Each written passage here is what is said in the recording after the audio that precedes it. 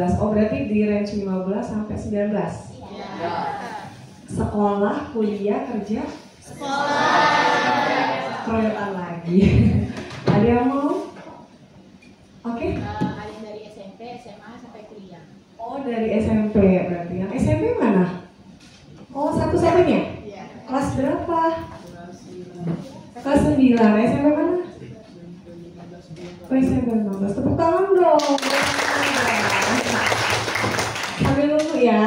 Em, hari ini tadi udah pada sarapan? Sudah. Jadi nanti bisa dengerin dengan baik ya. Iya, Mbak. Karena aku pengen banget tuh kalian makan daging dari aku. Iya. Bukan daging sapi tapi. daging materi gitu. Oke?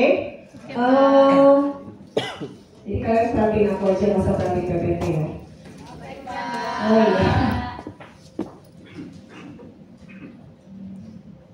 Assalamualaikum warahmatullahi wabarakatuh.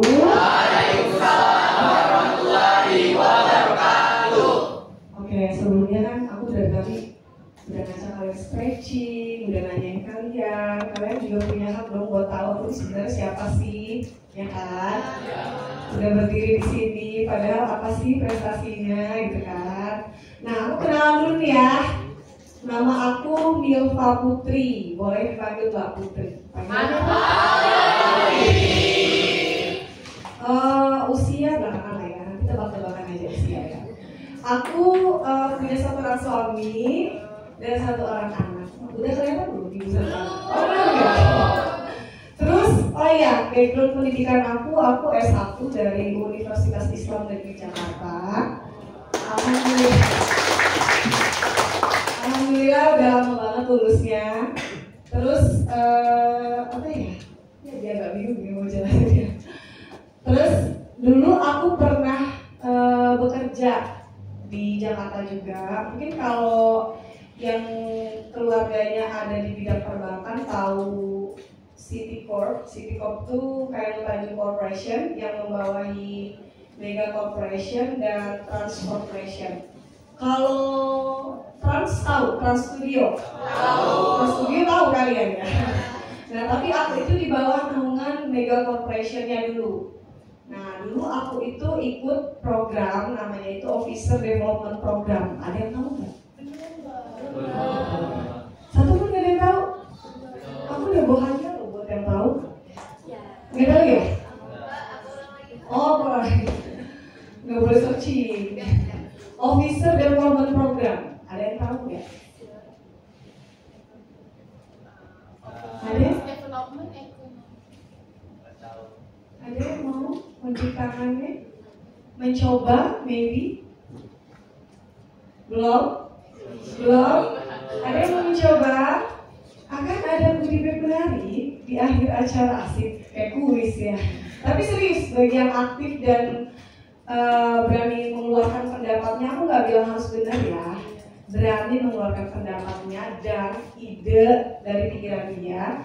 Aku akan kasih apresiasi nanti ada budi Feb di akhir acara. Oke? Setuju? Jadi tadi officer development program ada yang mau jawab dikit mungkin? Oke boleh berdiri saya namanya. Assalamualaikum warahmatullahi wabarakatuh. Izin Mbak, perkenalkan nama aku Tia Ayu Yolanda, biasanya saya dipanggil Yola. Aku mahasiswa baru di bisnis manajemen. Eh, dari arti mungkin lebih ke mentranslitnya aja Mbak. Eh, mungkin bidang suatu bidang yang merencanakan kayak membangun dari bisnis development. Soalnya jurusan ini juga dengan development. Oke. Tepuk tangan dong untuk dia. Satu lagi ini enggak yang ada searching boleh? Oh belum ya, nggak boleh. Oke.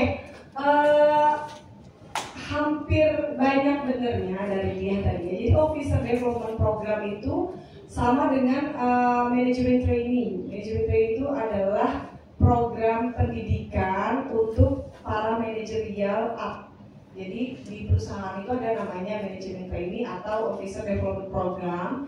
Dia itu yang akan eh, program yang akan membuat para calon-calon leader masa depan di perusahaan tersebut.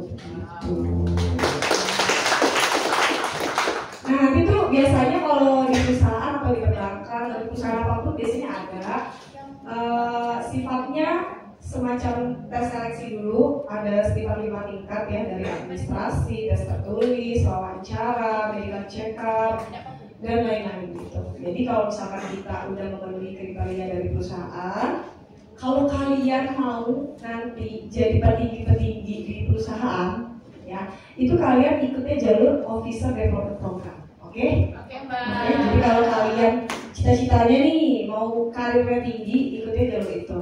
Gitu. Oke, sekian yang tentang pekerjaan aku kali ya. Jadi intinya aku pernah eh, jadi alhamdulillah kepala cabang di suatu PP. Tapi aku memilih resign.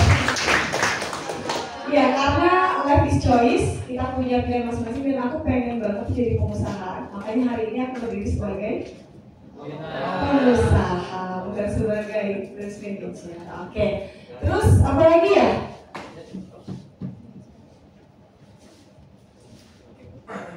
Oh iya, mungkin ada yang mau tahu hobi aku? Enggak ya? Eh, sing- apa ya? Dikit aja sih, maksudnya eh, hidup tanpa hobi kayaknya nggak berwarna nggak sih guys? Kan? Apalagi Gen Z kan ada yang main Mobile Legends hobinya ya, ada yang apa? Ada yang berani? Jangan itu terus dong, ayo hobinya apa? Eh, main volley. Main volley keren, nyanyi, melukis. Nama kamu siapa? Semoga kamu jadi pelukis masa depan. Main basket, banyak ya. Eh, kalau aku hobinya kulineran, standar banget ya. Traveling, sama traveling. Dan aku suka kalau olahraga tuh aku sukanya arung. Ada yang pernah arung jeram? Oh belum pernah ya, nanti kalian harus cobain ya. Tapi tapi gini ya, eh, harus yang safety ya, jangan yang asal-asal aja, oke? Oke, udah bisa? Oke. Nah itu foto aku, ya. Dari awal dulu boleh? Gitu tadi. Nah aku berdiri sini udah aku bilang tadi ya, aku itu sebagai ownernya sewa kebaya Bengkulu. Ada yang udah follow? Sudah. Oh iya, udah lama follownya. Oke deh kalau gitu. Makasih banyak ya. Next. Oke, tadi aku udah jelasin ya. Aku kebetulan tuh eh, ibu dan istri. Terus aku hobinya traveling. Itu foto waktu aku rafting pertama kali itu ngeri banget sih. Di Sukabumi yang pernah ada keseret arus tau gak sih? Tapi aku nggak. Terus aku ya tadi ya yang eh, history experience aku terus alhamdulillah waktu itu aku jadi lulusan terbaik sih di mana Nah, sebenarnya ngomongnya malu sih ya kayak bukan membanggakan diri tapi itu adalah kerja keras yang mendapat penghargaan. Jadi kalau kita bekerja keras dan mendapat penghargaan itu ada nilai sendiri di dalam diri kita, benar nggak? Oke. Nah terus honor apa nih ya honor honoran ya? Jadi sebenarnya aku tuh dari eh, SMA. Nah kalian kan masih muda ya. Aku dari SMA tuh ternyata otak aku tuh udah tentang bisnis. Jadi aku dulu jualan pulsa waktu di SMA. Terus aku jualan tiket pesawat. Tau kan? Pesawat kan? Nah terus banyak nih pokoknya aku jual jual hijab gitu kan. Akhirnya aku mikir kayaknya aku punya bakat dalam berusaha deh. Kayaknya aku pengen kembangin juga. Tapi waktu aku lulus kuliah, ini pikiran aku ya, boleh ditiru, boleh juga dimodifikasi. Tapi waktu itu aku belum ada modal, jadilah aku kerja, aku cari modalnya, gitu ya. Nah terus aku juga punya eh, parfum Baby Bengkulu, kalau yang mau follow silahkan follow. Nah karena di sini aku berdiri sebagai pengusaha, bukan sebagai experience-nya ODP tadi kan, aku tuh mau ngasih tahu sama kalian tentang bisnis. Ada nggak sih yang tertarik punya bisnis? Tertarik ya. Kira-kira bisnis itu apa? Selain yang di situ ya, ada yang mau unjuk gigi? Boleh? Boleh ya? Emang masih ada di bawah? Boleh jawab aja apa-apa sesuai dengan ide di dalam hatinya. Baik, kalau jawab, perlukan nama Felicia dari juga Pak, bisnis itu menurut Aisyah sendiri suatu peluang untuk kita, suatu usaha juga yang kita buat sendiri dan eh, bisa menghasilkan sesuatu yang bisa kita banggakan. Dan eh, bisnis itu eh, apa ya? Suatu adalah yang kita buat sendiri dan juga bisa berpeluang untuk kita Oke, tepuk tangan buat Felicia. Felicia otaknya cepet nih kayaknya. Jadi dia langsung kayak oh bisnis. Apa punya bisnis juga mungkin ya? Oke, mudah-mudahan nanti jadi pengusaha sukses ya. Amin.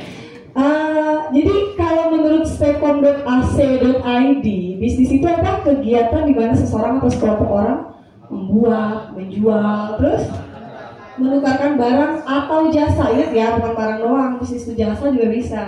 Terus dengan tujuan mendapatkan keuntungan. Oh, jadi bisnis tuh eh, untuk dapetin keuntungan ya, Mbak ya? Iya nggak? salah satunya. Oke, nanti kita bahas ya. Terus mengapa bisnis itu penting? Ada yang bisa baca ke yang eh, bagian mengapa bisnis itu penting? Boleh berdiri? Oke. Mengapa bisnis itu penting? Penciptaan lapangan kerja, pertumbuhan ekonomi, wadah anak muda mengembangkan skill dan ber- berinovasi perubahan sosial. Oke, namanya siapa? Ulen. Ulen. Oke, tepuk tangan buat Ulen dong. Jadi bisnis itu penting karena bisnis itulah yang akan menciptakan lapangan kerja. Bermanfaat dong. Oke, terus bisnis itu membuat ekonomi bertumbuh. Jadi kalau misalnya Indonesia nggak ada bisnis gimana? Nggak tumbuh dong ekonominya, ya kan?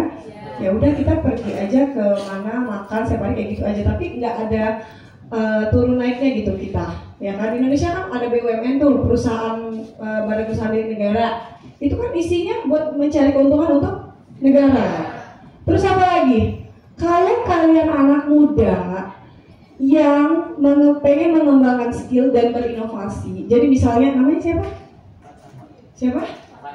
Fatah.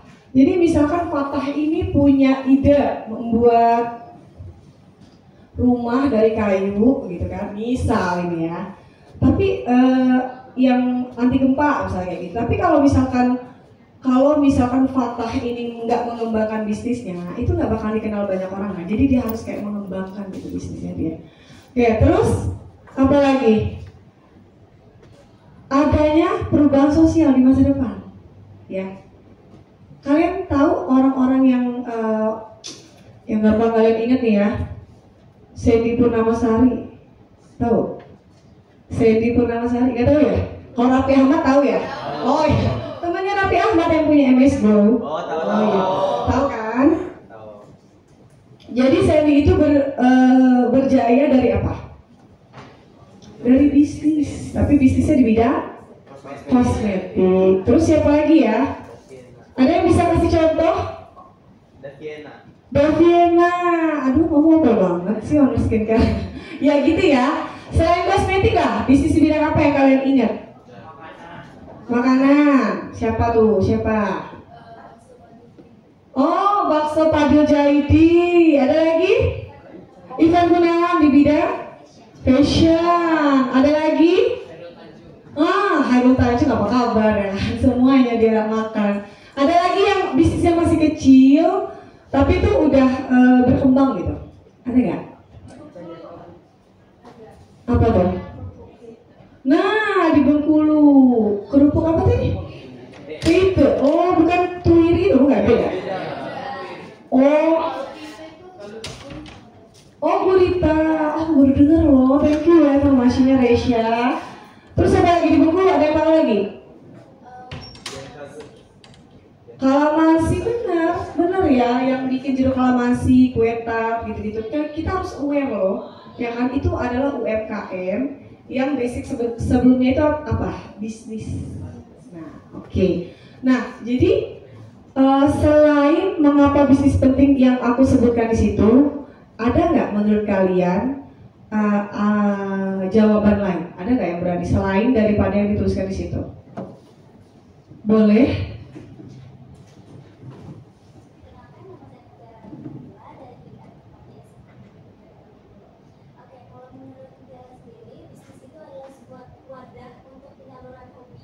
Jadi, eh, bisa kita punya hobi. Nah, karena kita mau meneruskan hobi kita itu, tapi menurut kita tuh kayak kalau misalnya kita teruskan hobi kita tuh tanpa ada hasil, jadi kayak sia-sia. Nah, jadilah kita buat peluang bisnis, entah itu kita berjualan atau eh, menawarkan jasa kita. Oke, thank you. Tadi apa katanya? Dari hobi jadi bisnis, bagus ya. Jadi kalau kamu hobinya tadi melukis ya, nanti bisa lukisannya dijual ya kan? Ada lagi nggak yang sepikiran sama aku? Oke belakang, boleh berdiri saya? alasan lain kan punya nama kita Iya. nama saya juga saya ingin menjawab menurut saya alasan lain kenapa bisnis itu penting adalah melalui bisnis kita bisa membuka relasi atau jaringan lebih banyak dengan orang contohnya seperti kerjasama atau nanti dari kita sebagai owner kenal sama pelanggan yang ternyata juga punya bisnis akhirnya menjadi kerjasama terus juga kita bisa eh, membantu memenuhi apa sih yang orang-orang butuhkan selain memberikan lapangan pekerjaan tadi itu kita bisa membantu memenuhi kebutuhan calon pelanggan. Oke, terima kasih Ulan ya. Jadi Ulan tuh mendekati banget dari satu hal lagi yang paling penting menurut aku. Jadi kalau kata Ulan tadi kita kolaps, ya kan? Kerupuk tuiri X Echimua, ya kan? Kali ya kan, sambil make up snacknya kerupuk tuiri gitu ya. Oke, tapi tadi di poin terakhir Ulan bilang apa? Bisa memenuhi kebutuhan customer. Ada nggak yang nangkep? Maksud aku sebenarnya bisnis itu penting karena apa? Karena kebutuhan terus. Jadi bisnis woman atau bisnis planner itu datang untuk apa? Untuk jadi apa? Untuk jadi apa? Jadi pemasukan. Oke, tadi soal keuntungan. Ini di luar keuntungan. Jadi sebenarnya bisnis itu lebih dalam lagi. Tadi kita itu kalau kata ulang eh, bisa memenuhi kebutuhan daripada konsumen. Nah, kita yang bisnis yang punya bisnis tadi memenuhi kebutuhan itu sebagai bentuk sebagai bentuk sebagai bentuk slide berikutnya. Solusi. Ya jadi kita itu nggak melulu tentang duit. Ya nggak melulu tentang duit duit duit duit ya. Jadi apa? Bisnis itu yang paling penting adalah tentang solusi. Bisnis itu adalah solusi dari sebuah permasalahan. Ada bisa kasih contoh nggak? Bisnis yang merupakan solusi dari sebuah permasalahan. Boleh nama? Mbak, memperkenalkan diri, nama saya Dovani. Dari Poltekkes Kemenkes Bengkulu. Salah satunya bisnis sebagai solusi yaitu seperti brand skincare di mana menyelesaikan so- eh, permasalahan dari customer yang merasa eh, kulitnya kusam, kering dan bermasalah. Jadi eh, skincare tersebut dapat menjadi solusi dalam hal masalah tersebut. Selain itu seperti bisnis makanan dapat menjadi solusi ketika perut lapar. Oke, tepuk tangan dong. Good ya. Dari tadi ngomongnya skincare mulu ya. Tapi bagus bagus. Ada lagi? Oke, ah ini nih yang belum nih. Sebelumnya perkenalkan nama saya Rama Adil dari SMA Negeri 2 Kota. Jadi Pak, salah satu bentuk bisnis sebagai solusi itu misalnya seperti eh, brand dari Mbak yaitu sewa sewa kebaya dulu. Karena nggak mungkin semua orang punya kebaya nggak sih Pak? Dan mungkin mereka butuh untuk sebuah acara penting, pernikahan dan lain sebagainya nggak mungkin mereka untuk membeli kebaya baru karena kebaya itu kan mahal dan proses pembuatannya lama. Jadi bisa em, sewa di tempat Mbak. Oke, thank you. Tangan ini kita ngobrol banget bikin aku terenyuh gitu ya. Jadi tuh bener banget. Jadi kalau misalkan bisnis itu pikiran utamanya adalah solusi dari sebuah masalah. Oke, jadi bisnis itu pikiran utamanya adalah solusi dari sebuah masalah. Aku kasih contoh bisnis yang sekarang besar ya, Gojek. Gojek tuh pemecahan dari masalah apa? Jangan keroyokan tujuh tangan. Oke, Baik, perkenalkan nama saya Reni Pranata, saya berasal dari SMA Negeri Kota Bengkulu. Jadi dari segi pertama paketan jasa pengiriman itu contohnya seperti JNT itu bisa mempermudah kita dalam mengirimkan barang yang kita pesan seperti bisnis seperti barang yang kita cari. Itu bisa mempermudah transportasi kita kan jadi bisa dari lewat dari gitu Oke, tepuk tangan dong. Thank you ya. Ya, tadi dia ngasih info lagi, contohnya Genti katanya. Aku balik lagi ya. Tadi contohnya apa aku bilang? Gojek. Jadi Gojek itu adalah solusi dari permasalahan apa? Transportasi ya. Jadi Gojek itu sebenarnya simple banget loh idenya. Apa idenya? Yang pertama, customer butuh kendaraan. Nah, ya kan? Sedangkan mungkin di rumah nggak ada kendaraan. Mau ke tukang ojek, tukang ojek pangkalan kejauhan. Terus jadilah Gojek karena aplikasi Gojek gitu ya. Jadi aplikasi yang mempertemukan antara antara driver dan konsumennya. Ya kan simple kan? Solusi lah dapat, ya kan? Jadi eh, siapa namanya Mbak? Joyce. Joyce, jadi Joyce nggak perlu nih repot-repot jalan kaki ke depan gang, ya kan? Terus, eh, Mang, Mang, ojek berapa? 100 ribu, Mang, nawar-nawar, nggak perlu. Karena di situ udah ada harganya, ya kan? Itu baru. Satu lagi apa? Satu lagi. Contoh, contoh. Satu lagi, yang yang lebih millennials.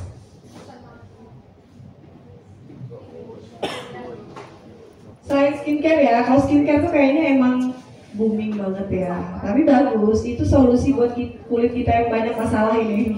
GoFood. GoFood, shopping yang dipakai tiap hari, TikTok Shop ya sama lah ya.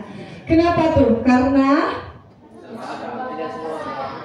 karena kita suka belanja. Kalian bagus gak belanja. Terus mager ke mana-mana. Terus apa lagi? Terus belum tentu ada di kotanya sendiri. Nah, lebih mahal apalagi. Belum tentu ada di kotanya sendiri. Betul, karena kadang eh, mau beli apa ya jam tangan misalnya, di sini nggak ada merek merek Olivia Barton misalnya, gitu kan. Tapi di Jakarta ada dengan Shopee dapat gratis. Oke, oke, jangan langsung buka aplikasi ya di sini. Oke, next ya. Nah, karena aku ngomongin bisnis gitu ya, aku akan mengajak teman-teman semua tuh berpikir. Mana tahu suatu hari di masa depan nanti kalian adalah owner-owner dari sebuah perusahaan. Amin. Ya. Jadi eh, cara berpikir seorang pebisnis itu sebenarnya simpel. Yang pertama tadi nyari so solusi. Tapi setelah kita mendapatkan ide, eksekusinya yang su banyak makin enak nggak? Makin happy ya? Nggak akan pusing ya kalau banyak ya? Oke. Jadi setelah kita punya ide, waktu kita mau eksekusi itu pasti kayak modal gue dari mana ya? Apa gue jual cincin dari pacar gue? Apa gue jualan pulsa kayak aku dulu kan? Atau gue minta sama orang tua kayak gitu kan? Ada yang kayak gitu ya. Pokoknya banyak pikiran yang muncul, ya nggak sih? Ya nggak sih? Tapi memang kita harus menentukan. Nggak apa-apa dong kalau emang modal dari orang tua salah nggak? Enggak. Yang salah modal dari orang tua teman, ya enggak? Gawat dong, ya kan? Hmm, apa tuh, ya kan? Kalau modal dari orang tua teman, ya kan? Terus eh, atau modalnya kayak aku tadi, aku kerja dulu, aku nabung. Jadilah modal kayak gitu. Atau yang udah rajin menabung dari TK, siapa ngaku? Oh nggak ada ya, sama. sama soalnya celengan TK udah dibuka waktu lulus TK langsung. Jadi uh, ada yang nabung dari dari lama gitu karena dia plan ke depannya emang kayak mau buka bisnis gitu.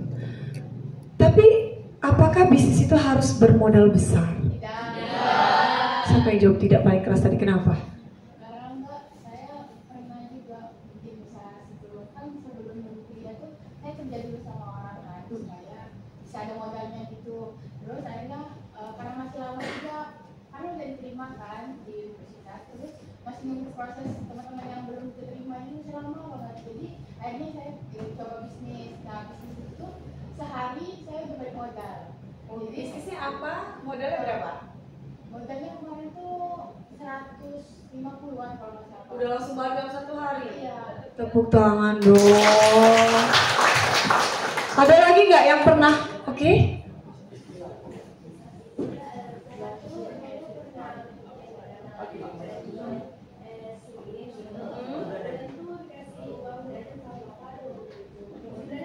Jadi dari uang jajan. sebenarnya itu sepuluh ribu sekali tapi buat mereka tentunya sih kayak ber, berpikir kayak ini kayak kali ini nggak usah jajan jadi kayak aku hari ini besok boleh kasih sepuluh ribu jadi kan dua puluh ribu nah beli kayak susu ataupun perlengkapannya kayak pokoknya habisnya tuh lima belas ribu terus udah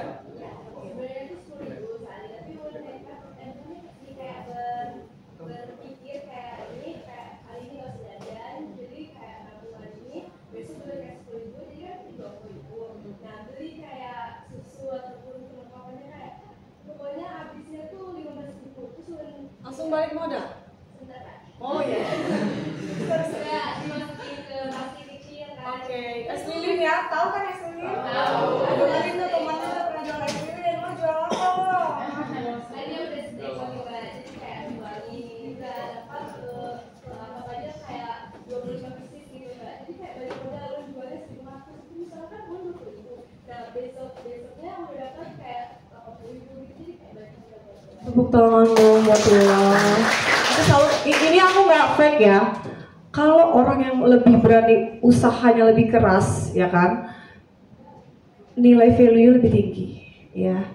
Jadi kalau misalnya kalian ngerasa benar-benar dari bawah banget, kayak gitu kan itu benar-benar kayak, ya bayangin SDN jualnya berapa? 1.500 Keuntungannya nggak mungkin 3.000 dong, ya kan? Satu, kalau harga 1.500 pasti di bawah itu keuntungannya, ya kan?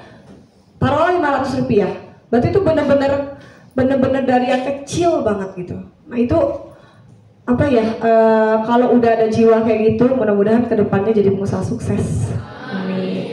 tapi ingat ya modal itu nggak harus besar. Benar kata kalian tadi ada yang modal 20 ribu ada 150 ribu. Ada yang bisa nebak nggak modal aku bikin sewa kebaya kemarin? Tangan dong, tunjuk tangan dong, tunjuk tangan, tunjuk tangan angkat eh apa berdiri angkat lagi angkat beban berapa kira-kira izin jawab kira-kira untuk sewa kebayangan dari apa? Jadi kisaran 2,5 juta. 2,5 juta. Masih salah. Ada lagi? Ada lagi? Kasih clue. Nggak boleh. Aku kasih hadiah aja. Aku kasih voucher belanja Indomaret 50 ribu. Oh yang benar.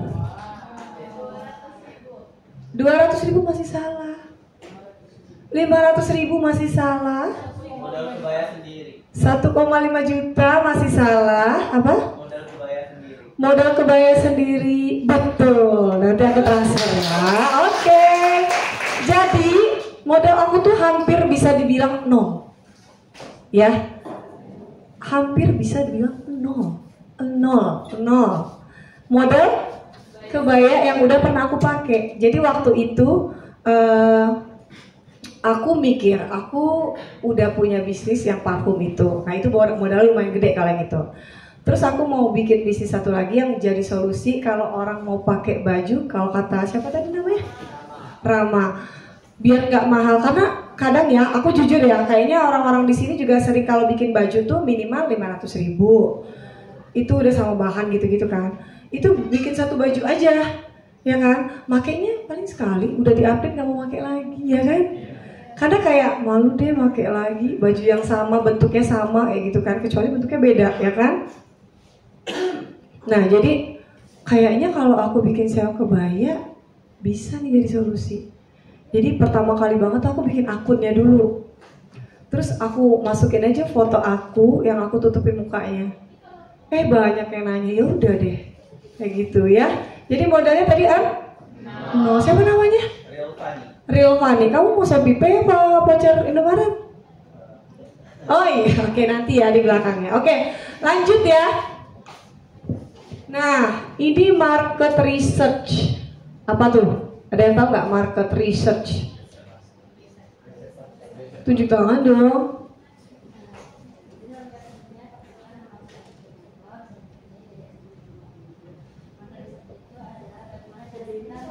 bagaimana cara kita menentukan target untuk pemasaran bisnis Oke, tepuk tangan dong buat temannya. Jadi di situ sebenarnya udah tertera ya.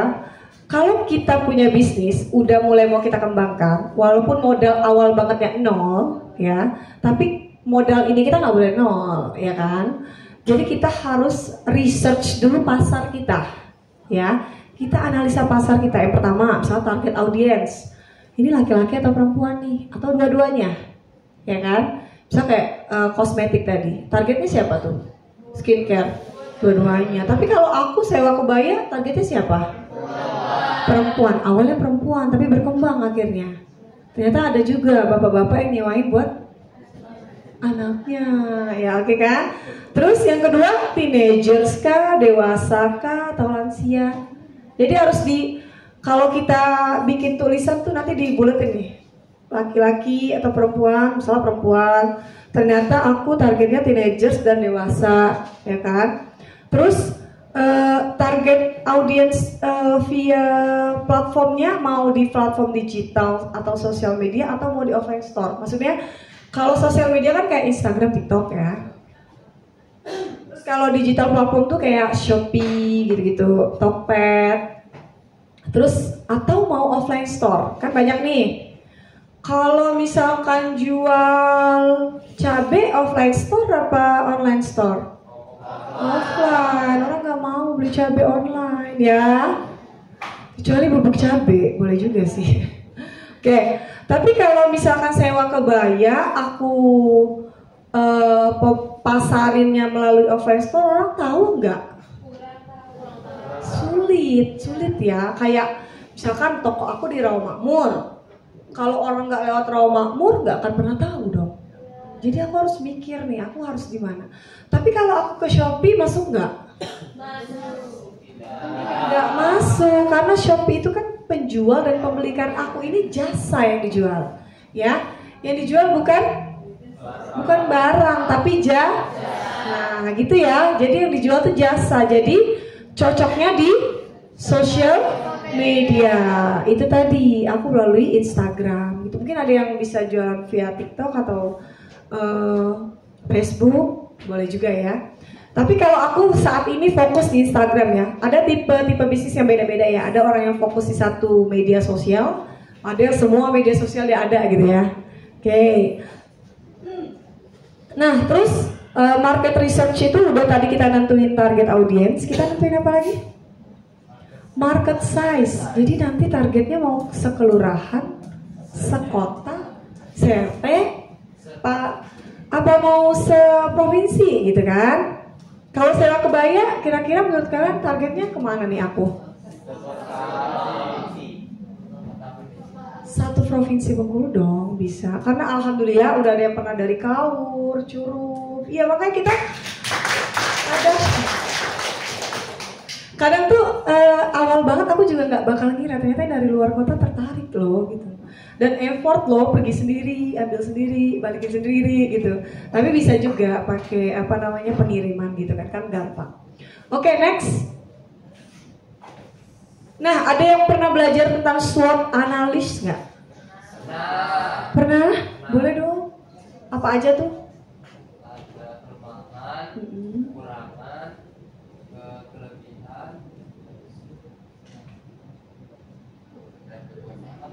hambatan satu lagi terakhir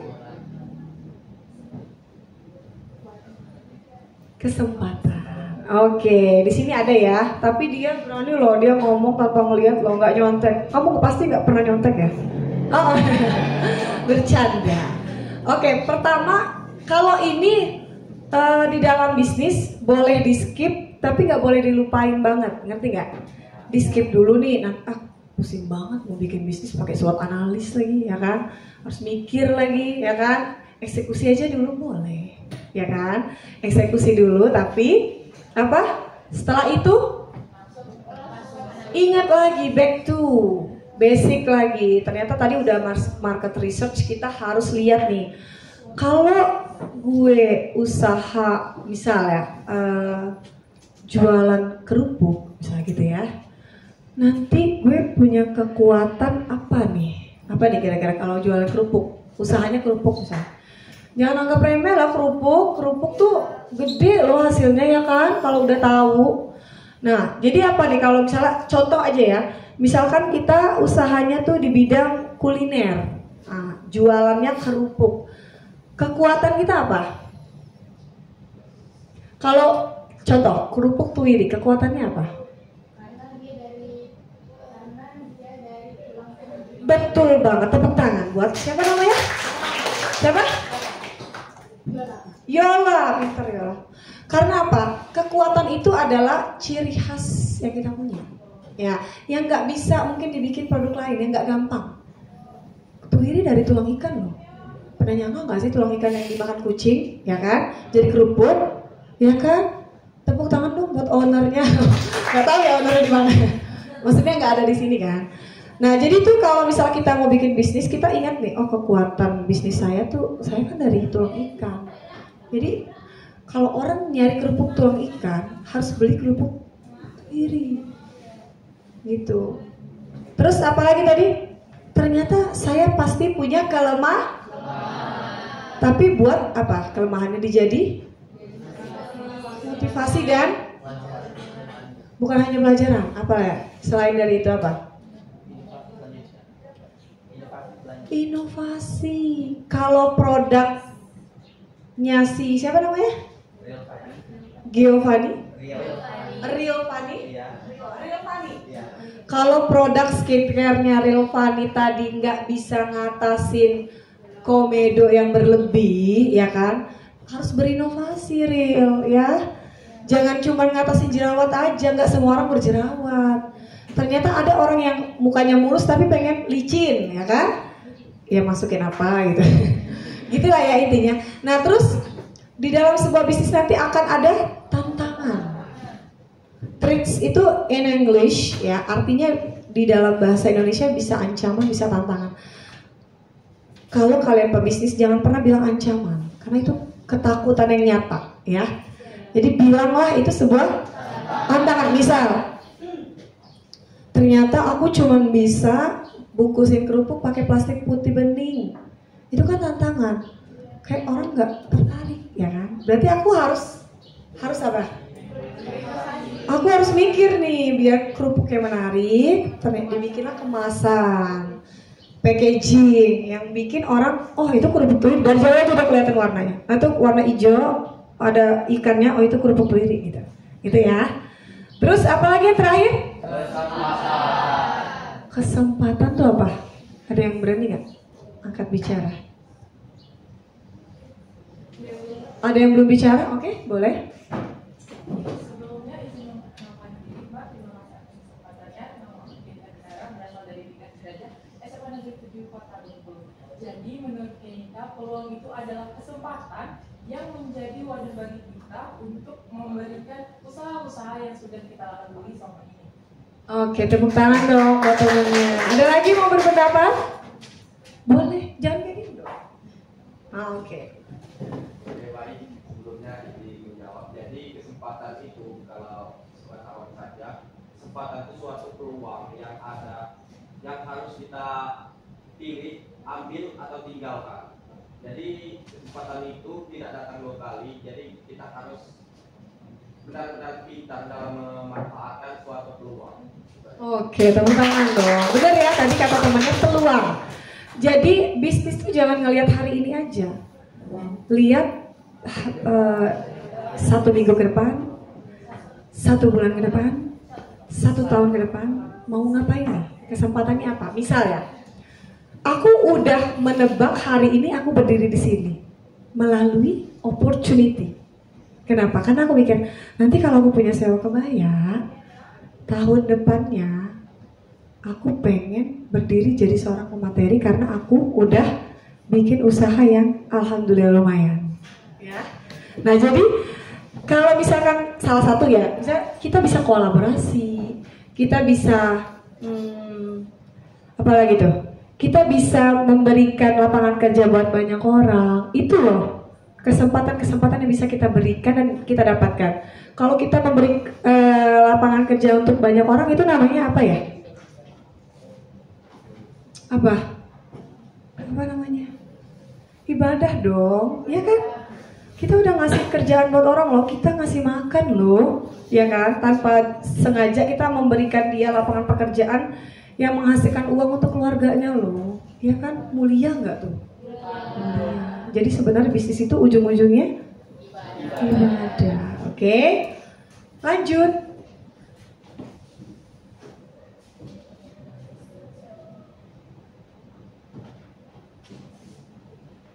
Nah, ini tadi ya.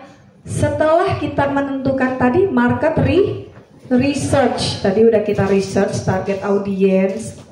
Terus uh, kita udah tadi kan salah satunya di target research itu ada sosial media. Nah, masuklah ke marketing strategi. Jadi market research sama marketing strategi itu dua hal yang nggak bisa dipisahkan ya. Jadi kalau kalian udah menentukan range-nya tadi perempuan, teenagers, habis itu di sosial media udah kelihatan tuh kan? Jadi carilah perempuan yang masih belasan tahun, teenagers, yang di sosial media. Udah kelihatan kan skupnya? Ada nih 20 juta orang misalnya. Nah, itulah yang kita godok, ya kan?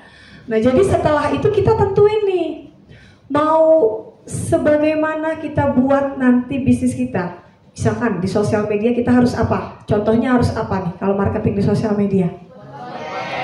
Konten. Siapa yang suka buat konten di sini? Oh suka ya semua. Jadi pada TikTok atau Instagram? Dua-duanya ya. Oke. Berarti sering dong main TikTok ya. Nah terus apa lagi? Kalau di uh, Instagram lah ya, di Instagram itu kita bisa apa biar laku? Misal promosi. Diskon. Itu udah dalam banget loh ilmunya. Diskon tuh udah keberapa loh. Jadi tadi apa? Promo? Promosi. Terus promosi itu ada lagi bagiannya ada promosi berbayar tahu? Google AdSense nah, yang melalui Instagram Facebook dan lain-lain yang kalau kalian lagi buka story eh nimbul sendiri. Padahal bukan teman gue nggak pernah gue follow ya kan? Ya itu namanya AdSense Google AdSense ya. Terus ada juga melalui N endorse. Misalnya si apa ya kayaknya tampang-tampang endorse nih. Kamu misalnya aku pilih ya kan? Siapa namanya tadi? Mutiara ah aku mau endorse Mutiara. Ah Mutiara followersnya satu juta ya kan? Pas aku pilah aku minta tim aku ngeliat ternyata 990 ribunya usia belasan tahun. Aduh ini daging banget nih ya kan?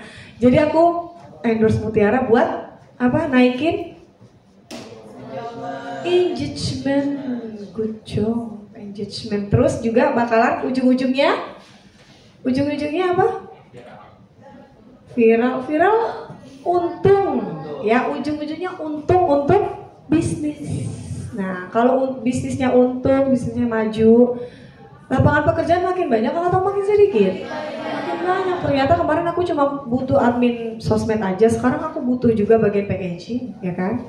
Ternyata kemarin aku masih jahit sendiri sekarang aku udah butuh tukang payet ya kan?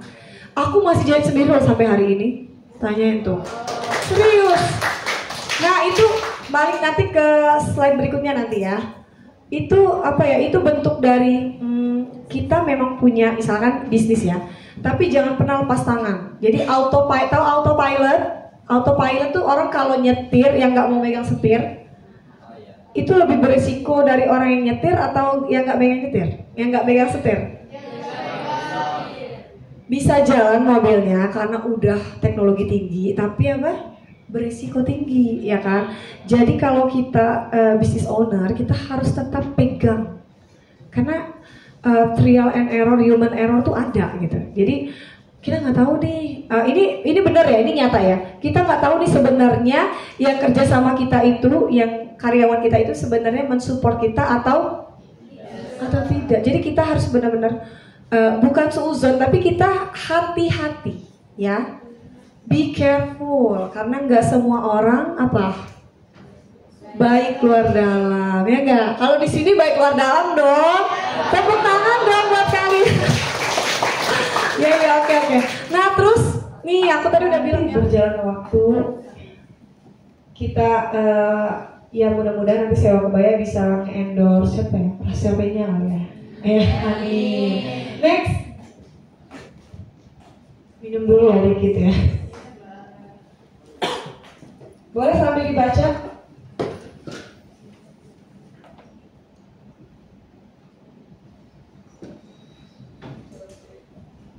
Financial performance. Tadi apa aku bilang? Ternyata sudah kita bilang tadi soal modal, soal uang ya. Uang yang kita pegang, misal ya tadi modalnya 20 ribu ya bikin es ya. Targetnya mau berapa nih? Pasti dia udah mikir, kalau aku bikin es dari duit 20 ribu bisa 100 bungkus bisa. Hmm, jangan 100 kali ya. 200 kali ya, nggak untung kalau- kalau jual 1500 ya. Itu nggak kayak itu enggak jadi tadi modalnya 20 ribu ya kan? Oh untung deh. Dia bikin 100 bungkus. Matematika nih. Ayo nanti jawab ya. Dapat voucher. Eh bercanda. Jadi dia 20 ribu bikin es 100 bungkus. Satu bungkus dijual 1500 untungnya berapa? Yang punya es nggak boleh jawab 130 ribu. Pasti kamu matematikanya rendah ya? Eh nggak tinggi ya. Tepuk tangan dong gitu ya. Jadi kamu udah tahu nih kan keuntungan kamu tadi dari jual es lilin 130 ribu. Hari ini kamu laku semuanya. Oke kalau nggak laku nanti hitung ya hitung sendiri lah ya Bro. jadi gitu ya. Itu hari pertama. Dikali dalam satu bulan kalau nggak libur ada 30 hari. Kali 30 ayo tek tek tek tek tek tek. 390 ribu. Cepet ya menghitung ya? Oh, iya. oke terus satu bulan 390 ribu. Kalau satu tahun berapa? Ayo tek tek tek tek tek tek tek tek tek tek ayo berapa? Satu tahun berapa ya duitnya? Banyak tuh banyak tuh duitnya. 39 dikali 12 Gak boleh pakai kalkulator ya? Kita sama-sama ngitung. Aku juga lagi ngitung 39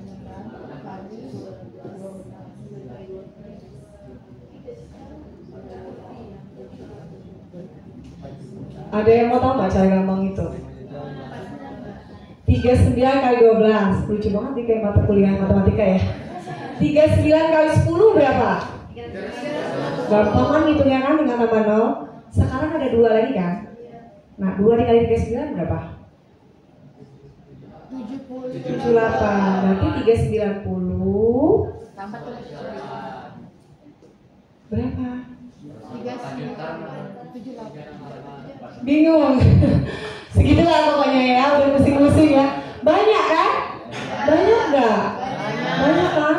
Tadi satu bulan dapat 300 390 ribu Kalau 10 bulan aja jadi 3 juta 900 Ditambah 780 ribu Dua bulan lagi Jadi 4 6 8 4 juta 680 ribu Udah bisa beli iPhone berapa? XR XR yang inter Oh iya. Baru satu tah? Kalau modal 20 ribu Jadi kalau modal 200 ribu Wow 10 kali lipat dong. Ya kan? Ya enggak? Kalau laku Nah itu tuh Itu tuh Itu tuh lagi. Mindset yang nggak boleh ah. Kalau laku mbak. Berarti nggak yakin dong dari awal Ya enggak? Berarti apa? Kalau kita mau mulai bisnis, kita harus yakin. Kalau nggak yakin, yakin lah. Nanti dia juga bakalan maju bisnisnya. Ya, oke. Next. Jadi tadi ya, tadi kan udah ada target nih, satu tahun mau apa mau apa, ya kan? Udah kehitung nih dekade satu gue bisa beli iPhone 15 Dekade 2 beli Pajero Dekade 3 jet pribadi. Amin, amin ya. Lo itu kan target, jangan pernah takut loh. Tuhan kaya loh. Ya kan? Oke, aku tutup ya. Aku punya satu kata-kata dari seorang selebgram yang bikin beberapa se beberapa usaha juga namanya Bilal Faranov. Boleh kita baca sama-sama yuk? Satu, dua, tiga. Instan, biasanya mendapatkan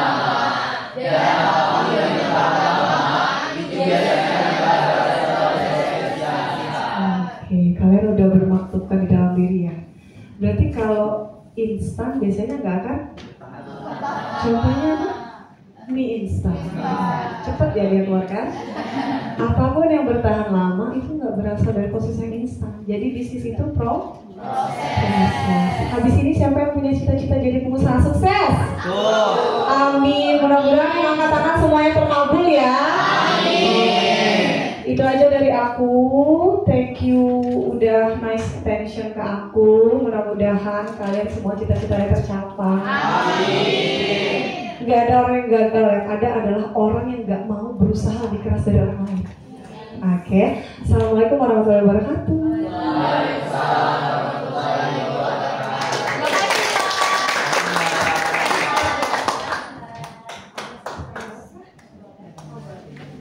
Oh iya oke. Ada pertanyaan satu aja yang boleh. Oh langsung tangan. Oke Mutiara.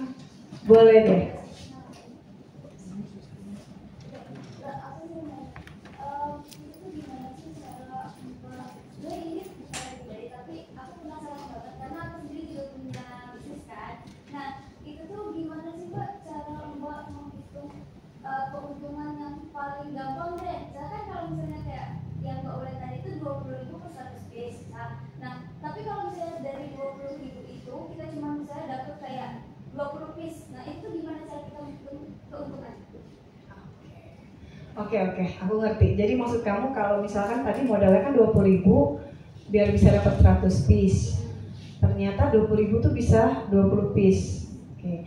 Jadi gini, hmm, tadi ada yang namanya market re- research. Kita harus tahu dulu nih audiens kita. Misal, es lilin yang beli siapa? Kalau kalian bikin contoh aja ya, kalau kalian bikin es lilin dari 20.000 ribu bikin segede-gede apa, laku nggak kira-kira? Lah kan laku butuh anak-anak butuh yang unyu-unyu aja, ya kan? Contoh ya, unyu-unyu aja yang murce, ya kan? Karena jajannya anak-anak paling berapa? lima ribu, ada yang seribu kan, ya kan? Berarti buatlah sekupnya lebih kecil, gitu ya. Jadi mm, jangan berpikir modal aku cuma segini, tapi aku mau ngasih enggak. Jadi jangan berpikir modal aku cuma segini, tapi aku maunya segitu. Jangan. Modal aku segini, aku harus tetap usahain. Nah gitu loh. Ya jangan. Jadi jangan. Aku modalnya cuma dua ribu, tapi aku mau bikin es sebanyak 100 buah yang harganya kalau dibikin 300 ribu kan masuk ya kan jadi dari modal kita itu yang kita pikirin 20 ribu beli gula 10 ribu beli air galon 5 ribu udah berapa tuh? 15 beli pasta 5 ribu. Cukup kan? Tapi kalau kamu beli Greenfields ya kan susunya pakai es krim. Berapa tuh? Pakai apa lagi? Keju. Aduh. Jadi esnya enak. Enak dong. Tapi kalian nggak balik modal. Gitu loh. Ya kan? Simple berpikirnya ya jadi kalau punya duit 20 ribu bikinlah es modal 20 itu. Jangan 20 ribu bikin es modal 2 juta. Nggak bisa dong. Nanti jadi tuh pikirannya disederhanakan gitu loh. Kalau jualan esnya bisanya cuma ke anak-anak ya berarti marketnya anak-anak. Jangan mau jual ke apa namanya anak kuliahan yang sukanya minum boba gitu kan. Nggak cukup dong modal 20 ribu ya kan? Jadi sesuaiin juga modal sama harga dan target pasar. Gitu. Terima kasih ya Mutiara pertanyaannya tangan dong buat Mutiara oke. Tadi aku pilih ya yang menurut aku aktif aktif semua sih. Aku jadi bingung deh milihnya. Oh iya. Aku jadi bingung deh milihnya. Cuma tadi aku ada sen- apa ya ada kayak terenyuh di dalam hati aku. Ada dua orang sih, tapi ada cuma satu. Eh, aku pilih satu ya, yang menurut aku bisa nanti jadi inspirasi buat kalian juga, mudah-mudahan ya. Boleh? Siapa namanya? Yola. Yola, maju dong Yola.